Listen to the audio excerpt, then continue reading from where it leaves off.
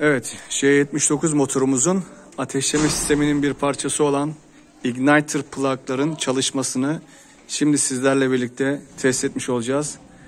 Önce main e, igniter plug devamında da afterburner sisteminin igniter plug'ının çalışmasını göreceğiz. Evet.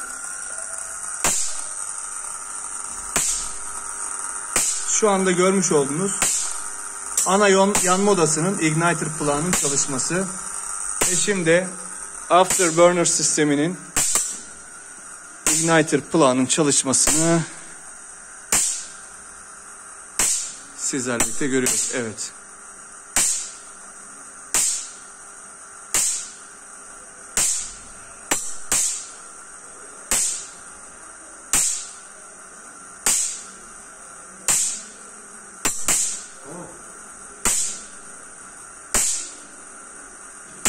Sırayla mı çek istersen?